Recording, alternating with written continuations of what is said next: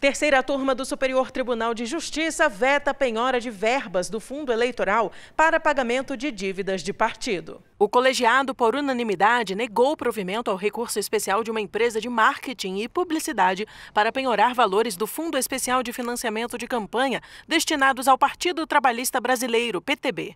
A medida seria uma forma de garantir que fosse paga uma dívida de mais de 8 milhões de reais referente a serviços prestados para candidaturas do partido nas eleições de 2004. A ação foi ajuizada em 2018. Reconhecido o débito, foi iniciado o cumprimento de sentença com várias tentativas frustradas de penhora de outros recursos do PTB, inclusive de valores do fundo partidário, cuja empenhorabilidade já foi reconhecida pelo STJ. A empresa requereu então a penhora de valores do Fundo Especial de Financiamento de Campanha, também chamado de fundo eleitoral, sob o argumento de que tais ativos não constam expressamente como impenhoráveis no Código de Processo Civil.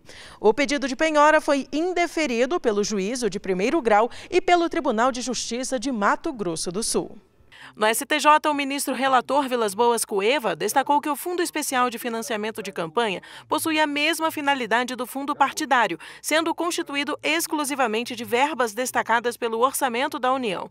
Nesse contexto, Vilas Boas Cueva aplicou a regra segundo a qual, onde há a mesma razão de ser, deve haver a mesma razão de decidir, e afirmou que as verbas do novo fundo se enquadram na disposição normativa contida no inciso 11 do artigo 833 do Código de Processo Civil de 2015, que garante a impenhorabilidade dos recursos do fundo partidário, ou seja, todas as verbas públicas integrantes de fundos partidários destinadas ao financiamento eleitoral.